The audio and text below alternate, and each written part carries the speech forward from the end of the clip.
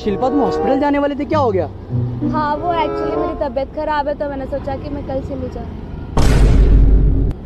भगवान है कहाँ एक आम की डाली पे दस केले हैं हाँ। उसमें से सात अमरूद निकाल दिए हाँ। तो कितने चीकू बचे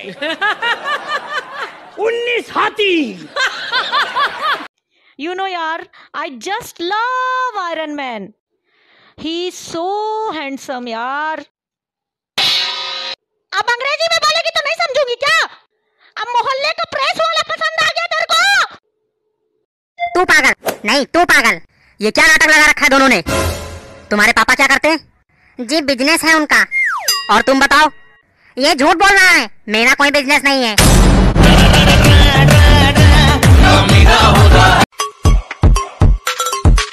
धोखे में कमाता भाई तू। लेकिन मैं क्या करूँगा पता है। मैं मैं चिल्लर उठा के पिल्लर बना दूँगा। हर एक गाना मेरा किल्लर बना दूँगा। ज़्यादा जलूँगा तो खुद को जला दूँगा। कॉम्पिटिशन ना कर फट से हरा दूँगा। अच्छा गर्लफ्रेंड क्या होती है? गर्लफ्रेंड हाँ।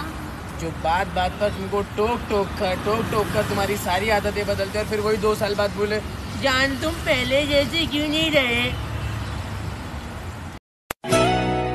ਤੈਨੂੰ ਇੱਕ ਇੱਕ ਪਿਆਰ ਕਰਦੀ ਮੈਂ ਤਾਂ ਸੋਹਣਿਆ ਤੇਰੇ ਤੇ ਮਰਦੀ ਤੈਨੂੰ ਇੱਕ ਇੱਕ ਪਿਆਰ ਕਰਦੀ ਤੈਨੂੰ ਚੜ ਕੇ ਚੁਬਾਰੇ ਤੱਕਦੀ ਮੇਰੀ ਅੱਖਾਂ ਵਿੱਚ ਖਾਬ लैक्मे आइकॉनिक काजल काजल इतना गहरा जो समय को मारते लगातार सफर ये इसे मारते लगातार काम ये इसे भी मारते ये है गहरा काला काजल गाइस मैं आज आपको दो टिप्स बताऊँगा गर्लफ्रेंड बनाने की। एक गर्लफ्रेंड दे दे दे दे बेहा शर्म ना रही कितने ध्यान से सुन रहे हो। मतलब और काम धंधा ना हाथों पे गर्लफ्रेंड बनाएगा अपने होश तक काम कर ले। ये ज़ोर से चोरे चोरी ना पटानते ही बुलेट ले गए ना बुलेट लेकर उनके पास चांड है। मेरे भाई पट्टन वाली तो स्प्लेंडर पे भी पट जाए बुलेट की ज़रूरत को ना होती।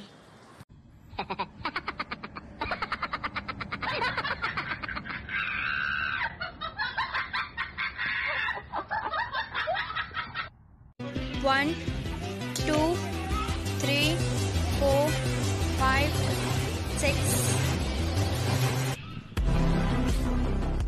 तो गाइस बुरा मत माना अनफॉलो मत करना गर्ल्स सॉरी बोल रही हूँ। लड़कियाँ 500 का मेकअप करा के भी इतनी सुंदर नहीं लगते लेकिन लड़के 20 रुपए की शेव करा के भी इतने क्यूट लगते हैं।